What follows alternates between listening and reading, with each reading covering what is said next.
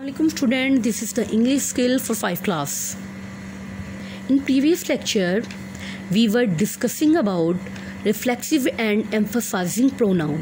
But today we will learn about demonstrative pronoun. What is the demonstrative pronoun? Let's start the reading. Demon- demonstrative pronoun as this these that those are used to point out to indicate to point out to indicate the object or object for which they are used. So these words are used to point out the object and the object for which they are used. So this and these refer the things nearer at the hand nearer at the hand. And that are those refer to the things lying at the distance. So this and these uh, point out the nearer things and that and those um, point out the distant things. So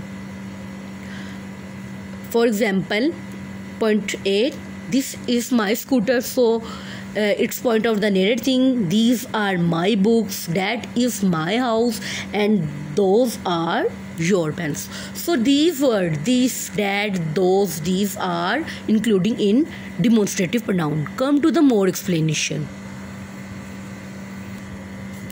Demonstrative pronouns are verbs such such as this and that used to indicate or point out to specific things.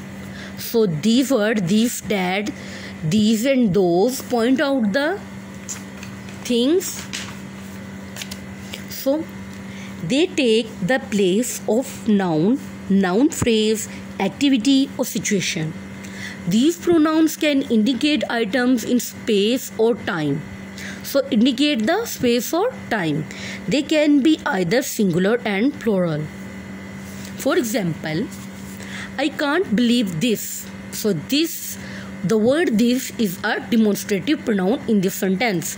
That looks like the car I used to drive. Here, the word that is a demonstrative pronoun this these are nice shoes but look uncomfortable. So these. The word these is including in demonstrative pronoun okay come to the next point.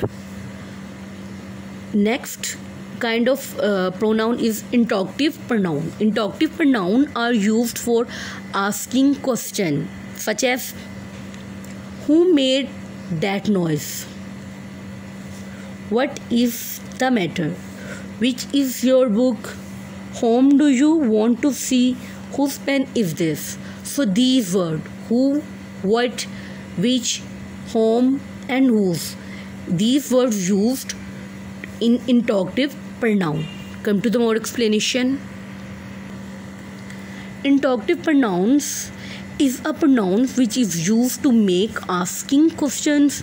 And these are just five interrogative pronouns. Each one is used to ask a question very specific question or indirect questions. They are using in specific question and indirect questions. Such sorry sorry. Some such as who and whom refer only to the people. Other can be used to refer to the object or people other are used object and people both. Just for the example who won yesterday? You went with whom? Who won the race? And what do you mean? Which is the first verb so these verbs used in uh, in which sentence? They are called interrogative pronouns. I hope you understand about demonstrative and interrogative pronoun. Thank you so much